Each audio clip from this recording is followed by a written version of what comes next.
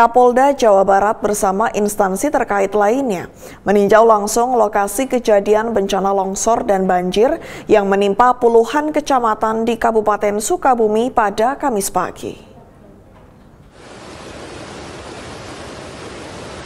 Bencana alam yang memporak-porandakan puluhan kecamatan di Kabupaten Sukabumi telah menyita perhatian semua kalangan. Pada Kamis pagi, Kapolda Jawa Barat Irjen Pol Ahmad Wiyagus, penjabat Gubernur Jawa Barat, Bey Mahmudin beserta instansi terkait lainnya meninjau langsung lokasi kejadian bencana yang melanda Kampung Cihonje.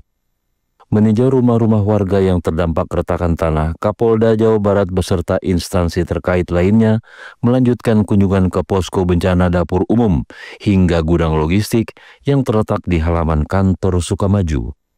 Setelah melaksanakan peninjauan, Kapolda Jawa Barat kembali ke kantor desa Sukamaju, Sukabumi, Jawa Barat untuk membagikan paket sembako berupa sandang dan pangan bagi para korban bencana.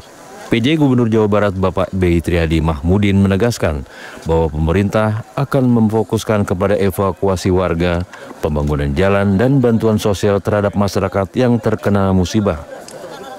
Ya, baik.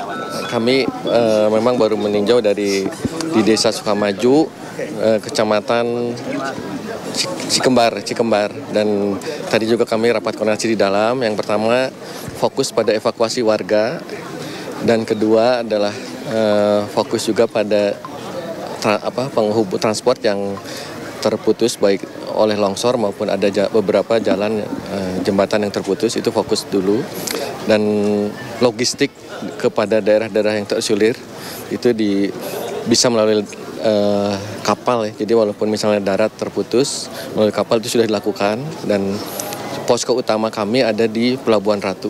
Jadi kami belajar di pengalaman harus ada posko utama agar semua bantuan terkoordinasi itu di uh, Pelabuhan Ratu dan tadi pesan Pak Deputi BNPB didampingi oleh inspektorat. Jadi semuanya terkontrol dengan baik. Sebagai catatan, Kampung Cihonje merupakan salah satu kampung yang terletak di Desa Sukamaju, Sukabumi, Jawa Barat, yang sempat terkena tanah longsor sehingga menyebabkan banyak rumah yang tidak bisa digunakan. Pejabat Gubernur Jawa Barat B. Triadi Mahmudin mengaku ada keterlambatan pengumpulan data akibat terputusnya jaringan komunikasi dan listrik. Meski demikian, Polda Jawa Barat beserta instansi terkait telah berkomitmen untuk memastikan kenyamanan serta keamanan masyarakat yang mengungsi sampai kondisi membaik serta kondusif. Dari Sukabumi, Jawa Barat, Jelang Baskara Willy Amanda melaporkan untuk Polri TV.